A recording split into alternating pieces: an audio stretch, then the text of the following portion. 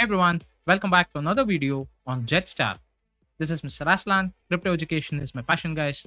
I'm not a financial advisor, and this is definitely not financial advice. Well, the time was ripe, and we were waiting for certain updates from JEDSTAR team. And guess what they dropped? The Stardome beta.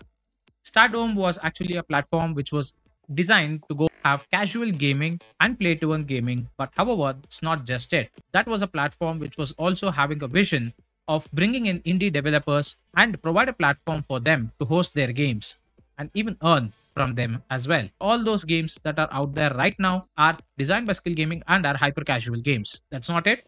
They also have the play to earn function that would be built across. Now, what would they use as currency? That's KRED.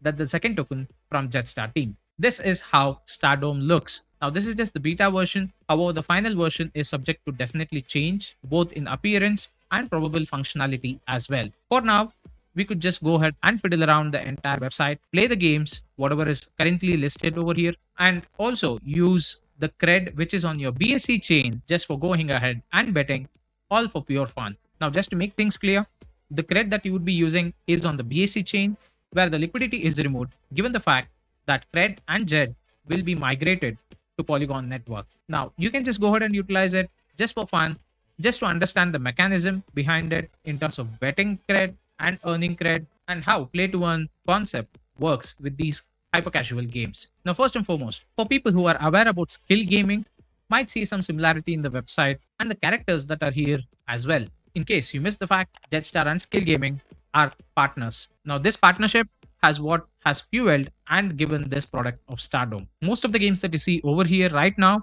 are developed by Skill Gaming and being deployed over here. Clicking on the game section, it will take you to all the available games that are out there currently in Stardome. And guess what? There are quite a lot. You could just keep scrolling. More than 100 games are currently available right now. And in the future, more will be added, both from Skill Gaming, from JEDSTAR themselves, and there would be other indie developers who would be partnered with, or if anyone is interested in launching the games in Stardome, they could go ahead and contact the team and get more details on that. I'm very much excited to have this portal up and running live after the beta test is completed. But well, it looks really cool in my opinion. Do let me know what you guys think in the comment section below. Now, how is it that you can connect your wallet and go ahead and bid and earn KRED as well? You just click on the login option over here. It will pop up two options for Coinbase or Wallet Connect. If you're using a Coinbase extension or your mobile app, you could use that. If you're using Trust Wallet, you could always go ahead and use Wallet Connect. Now, this being the beta, again, again, MetaMask users not left behind. So we can definitely see some kind of integration of MetaMask wallet as well in the final version.